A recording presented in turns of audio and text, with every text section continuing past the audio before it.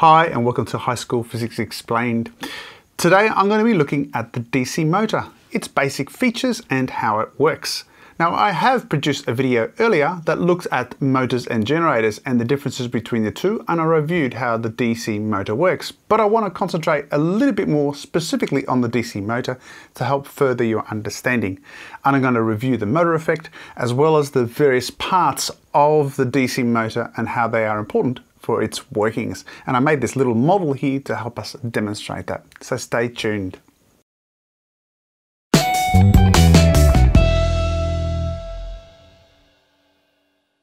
So what I have here is a model that I made of the DC motor. So before I go into how it works, let's just identify the parts. So the first obvious things here are these two boxes here. These represent our magnets. And so what we have, red is traditionally used for the north pole and the blue is used for the south pole. So we have magnetic field lines running from the red to the blue or the north to the south. We then have our loop of wire here that's going to carry our current. So that's often referred to as the armature. Uh, so uh, in this case, I've got a nice rectangular uh, shape here, uh, but often this can be circular as well. Then the next thing here is this little metal link here, which is clearly separated by two sides. This is called the split ring commutator. And the split ring commutator we'll discuss in a moment of how significant that is. Then we have what we call the brushes, which connect the commutator to the power supply. The red is traditionally, of course, positive, and the black is negative. So therefore, the conventional current is going to go in from the red and so forth. So let's see how then it works. And we're going to start in this position now. We're going to ignore the fact that this is not physically touching. For the sake of my demonstration, we're going to assume that it is touching. So we're going to have a current coming in from the red terminal and it's going to go down this side over here. Now that means we're going to have a current going in that direction from this particular side and that current is going to go around the loop and it's going to come back at this side. Let's just deal with the motor effect first. Since the current over on this side here is heading towards you and my magnetic fields are going from the red terminal to the blue terminal, we can use our right hand palm rule to determine the direction of the force. And so I'm going to place my hand on the actual demonstration. My thumb press uh, goes in the direction of the current. My finger's direction the magnetic field. You can see that the force will act down. Now, no matter what position I have my loop in, this section of wire here will always be perpendicular to the magnetic field for all intents and purposes and we will ignore the curvature of the magnetic fields up here. So therefore the direction of the force is always downwards on this side.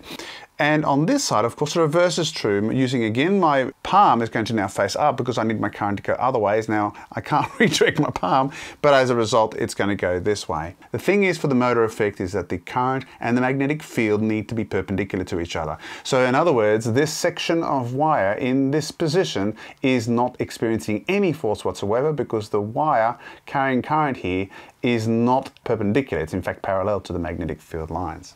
Now, uh, for some of you who are using the Fleming's rule, that's fine. In this case, you use your left hand and you, you have this position like so. And the way to remember the various fingers is think of FBI. F is the force, B is the magnetic field, and I is the current. So in my case, if I want to orientate this to this situation here, I have the current going this way, I have the magnetic field going this way, and therefore my force is going downwards. And of course, the reverse is true on this side. What's going to happen is, is that this is going to experience a force downwards and this is going to experience a force upwards and it's going to start to turn. And what we have now is a rotational motion and it's going to create a torque. It's going to start to turn.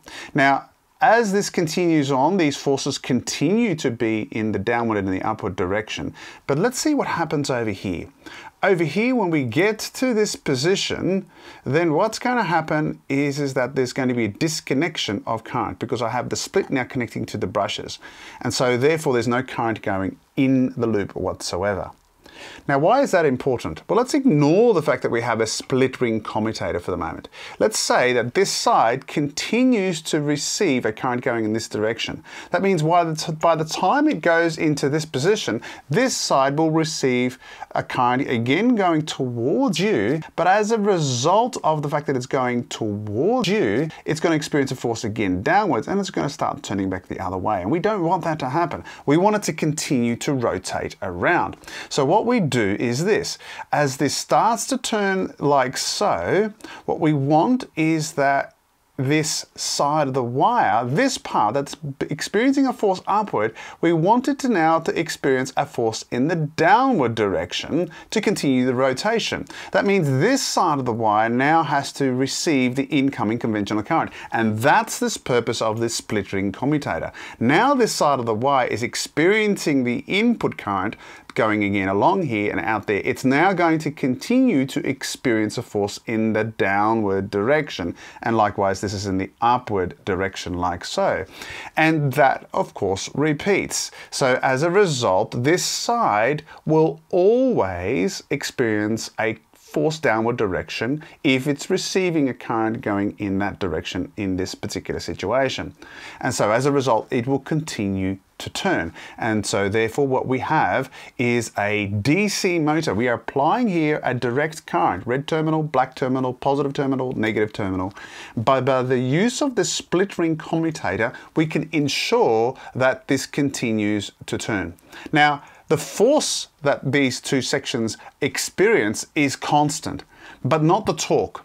Now the torque is the actual rotational force that's being applied and the maximum torque is determined by how far it is away from the center of return, which is the radius over here, multiplied by also the force that it's experiencing, but the force needs to be at a right angle. So in this case, my force is upwards, and therefore my angle between my coil here is 90 degrees. In other words, it's perpendicular. I'm going to get maximum torque. In this case over here, I'm not going to get maximum torque because my force is still upwards, but you can see that the R value, or at the moment, is actually not at 90 degrees. And the angle we actually measure is the angle inside here, and therefore the torque is equal to FR sine theta.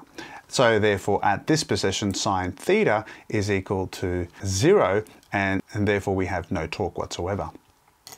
Where here theta is 90 and therefore sine theta equals 1 and you have maximum torque. Well, I hope that's helped you understand the basics of the DC motor. Please make sure you press like and maybe add a comment if it's particularly been helpful for you. And remember to subscribe to my channel, hitting the bell so that you get always the notifications for my latest videos. My name is Paul from High School Physics Explained. Take care. Bye for now.